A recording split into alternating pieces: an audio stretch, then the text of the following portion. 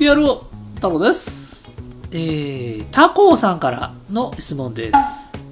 DAZN でやってる角田選手のドキュメンタリーを見た感想を教えてください。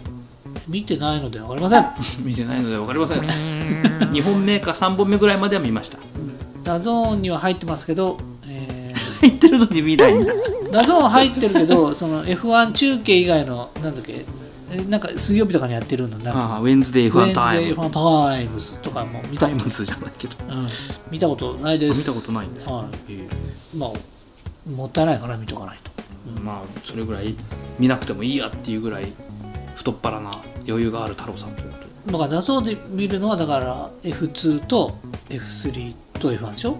のレースね、決勝レース。F2、F3 見るために入ってるそうそうそうそう。うん。ドキュメンタリーなんかまとめてねえと、その分安くしやがれとあとは野球見たいけど、カープ戦ほとんどやってくれないんで、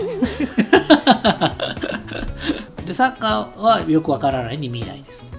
他のスポーツも見見ないです、うん。って感じです。はい。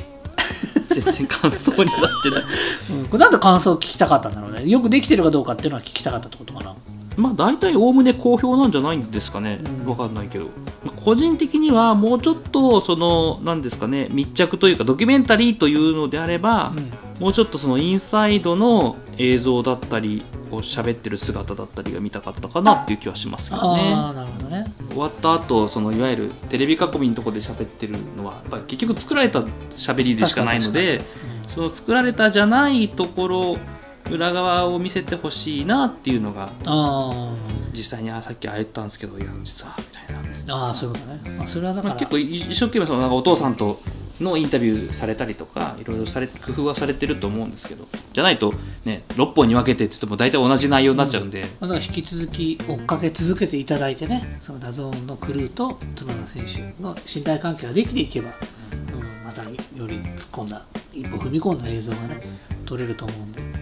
情熱大陸みたいにね3ヶ月ぐらいずっと密着して。だからやっぱそれがないとねもうちょちょっともうやめてくんない。うん今日はやめてくんないとかになってあ分かりましたってなってだんだんつまらなくやっぱりなってっちゃうんで。まあまああのイモラで予選でどんがらがしした時にすでにそれ言われてましたけど。ああそうなんだ。だからそこはやっぱり DAZN のクルーさんに頑張って